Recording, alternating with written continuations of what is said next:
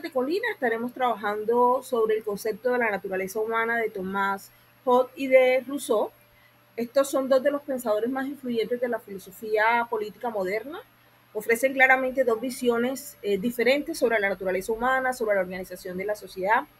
Mientras Hobbes, por ejemplo, en su obra Leviatán, argumenta que el estado natural del ser humano es una de las constantes guerras eh, de todos contra todos, donde la vida es solitaria, donde la vida es pobre, donde la vida es desagradable, donde la vida es brutal y corta.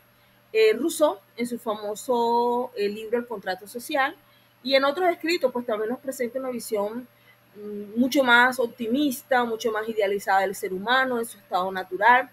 Para Rousseau, por ejemplo, el hombre primitivo es bueno por naturaleza y esa corrupción surge con el desarrollo de las sociedades, con el desarrollo de las instituciones que son las que van a perpetuar la desigualdad, que son las que van a perpetuar la, la opresión, por decirlo de alguna manera.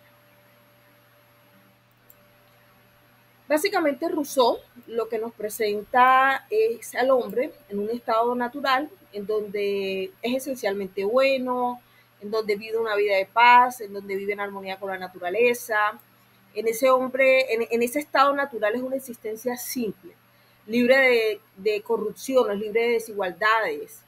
Eh, argumenta que la formación de la sociedad, que la formación de las civilizaciones, quien introduce esa corrupción, es quien introduce esa desigualdad.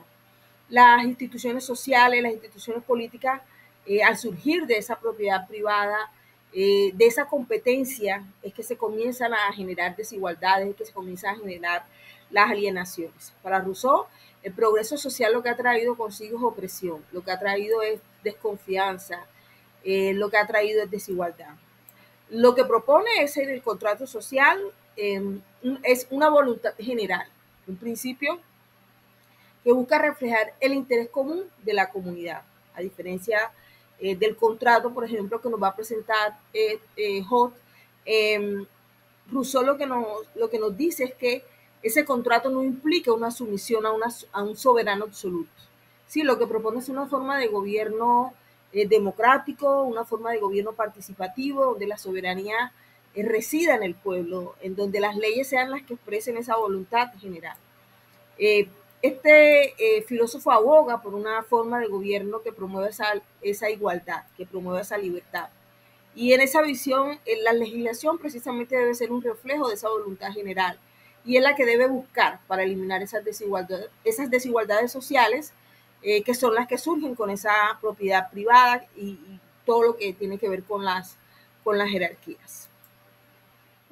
Eh, describe el estado natural del ser humano en términos eh, de una existencia presociológica, caracterizada por una profunda inseguridad, por un profundo conflicto constante, en esa obra que ya hemos mencionado con anterioridad, en el caso de, de, Leviatán, Hobbes argumenta eh, que en ese estado la vida es bastante solitaria, sí, que, que es bastante pobre, que es desagradable, eh, en donde hay competencia, en donde hay desconfianza. Eh, esa, eso es lo que predomina en ese estado natural. Los seres humanos al actuar en función de ese, de ese interés van a entrar en una constante lucha por los recursos, por la supervivencia. Y debido eh, precisamente a esa naturaleza conflictiva, a esa naturaleza egoísta, el ser humano en su estado natural considera que la, que la vida eh, sin una autoridad centralizada es anárquica, es peligrosa.